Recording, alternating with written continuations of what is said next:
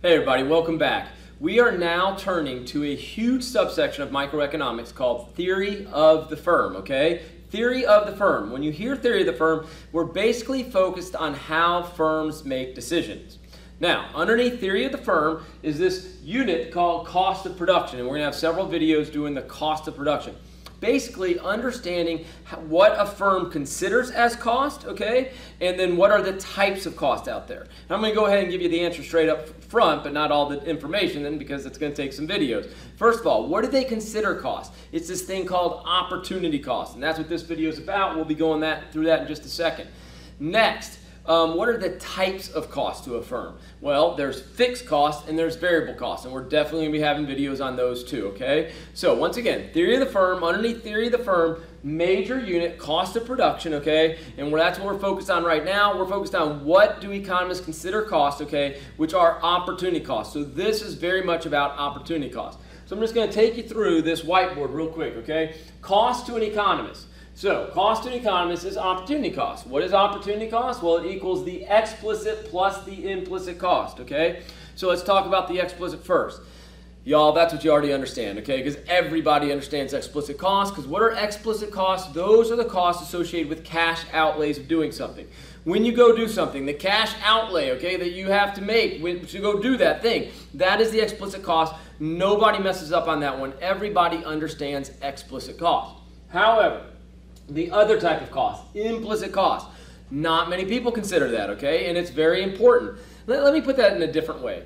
Most people don't consider it when they talk about it. However, subconsciously, a lot of times we actually do consider this, okay? So keep that in mind. So that's a little nuance right there. But what is implicit cost, okay? It is real cost not associated with a cash outlay. So that still didn't clarify it. I'm sure it didn't. Here's what implicit costs are, okay?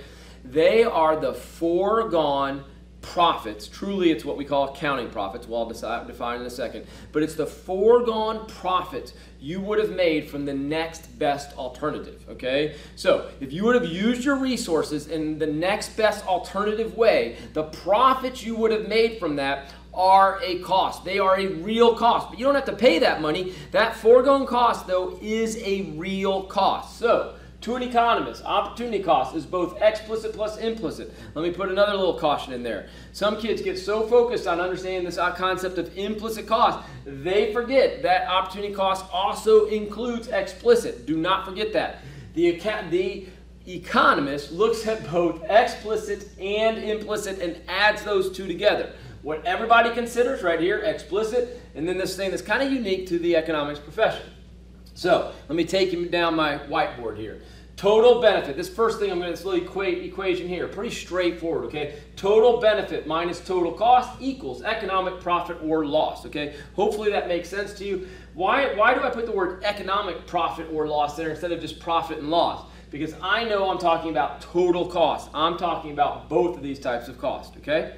Next, total benefit. When we're doing theory of the firm, y'all, total benefit is total revenue, okay? When we're doing theory of the firm, okay, these are profit maximizing firms. Total benefit is total revenue. Total cost, that's opportunity cost. And never forget that. That's something that makes it really simple, okay? Total cost is opportunity cost. They're one and the same. So I actually think using either one of those terms makes sense, okay? Equals, once again, economic profit or loss. Breaking it down again. So Total revenue, just abbreviated as TR, nothing big there, minus opportunity cost. So minus the explicit plus the implicit cost, which I already got, right, equals the profit or loss. So now we've got to fill this thing in, okay? And to do this, I've got this little thing right here we're going to fill in. To do this, I'm going to tell you a story, okay? Or I'm going to give you kind of like some information. We're going to make some, um, some evaluation of it, okay? Here's the situation. Lisa, She's thinking about opening up a lemonade stand, okay? Now, in her town, there's actually a lemonade rental company. I want you to remember that. It's a lemonade rental company, and what you can do for $50, you can rent every single thing you need from the lemonade rental company to open up your lemonade stand. And the only thing they ask is when you're done, return all the equipment and anything you didn't use. Okay, so what do you get from this lemonade rental uh, rental company? You get a canopy, you get a table, you get a cooler, you get a pitcher, you get cups, you get the concentrate, you get even a cigar box to put your revenues in. You get a, a little whiteboard, right? Lisa's lemonade stand. You get everything. It's just when you're done, just you know the concentrate or whatever else you didn't use, just take it back. The cups, whatever, just take it back and leave it with them. Okay, so you get that for a full day. Okay, it costs you $50 to get all that stuff.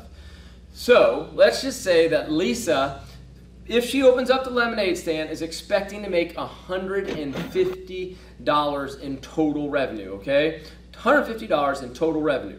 Should she open up the lemonade stand? Well, a lot of times what we'd ask ourselves at this point is, would she be profitable if she opened up the lemonade stand? If you asked an accountant, would she be profitable if she opened up a lemonade stand, their answer would be absolutely. They're done with this. This is easy. Yes, $150 in revenue, $50 in cost, 150 minus 50, that's $100 profit, okay? But the accountant is not focused on what's the best alternative. That's right. The accountant is not focused on what's the best alternative, okay? They're doing something very important also, but that's not what they're doing. They're not making a decision about should she or should she not. They're looking about can she do something?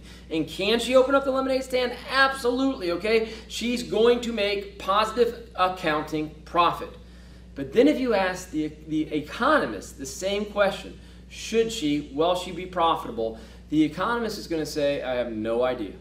Okay, that's a strange answer. They're just to go, I got no idea. You're to be like, what do you mean? $150 in revenue. She's to pay $50. There's no, she's not putting out pamphlets. She's not advertising. There's no other cash outlay she's to make. She's to make a $50 cash outlay, and in that cigar box is to be $150. What do you mean you don't know? And the economist says, look, I'm making a decision here. That's what my whole profession is about. And to make a decision, I have to know about an alternative. You have to tell me about an alternative. What else could she, with those resources, what else could she have done? Okay? And the main resource right now is Lisa. What could Lisa have done with her time besides open up the lemonade stand? And let's just say it just so happened that Lisa could have done some babysitting. She could have babysit for the Smith family. They're heading out of town, okay? And they pay $12 an hour, and they're going out of town for the same amount of time she would have opened up the lemonade stand. Let's call it 10 hours, okay? 10 hours. What does that equal? $120. Now, was she profitable knowing she could have babysat instead of open up the lemonade stand? Well, let's take a look at this, okay? I've got this little formula set up right here, and we're going to fill it in, okay? This first row, I want you to remember what we're evaluating is the lemonade stand. That's an LS. We're evaluating the lemonade stand. Right now, the alternative is the babysitting, okay? We'll see if it remains the next best alternative or if it becomes the best thing to do with our time. But right now, we're evaluating the lemonade stand. What's the total revenue of the lemonade stand? We know what that is, $150. What is the explicit cost? Well, that is $50. What is the implicit cost? Well, what is the profits she could have made or the accounting profits she could have made from doing the next best alternative, babysitting. Well, that's $120 in profits she would have made. 120.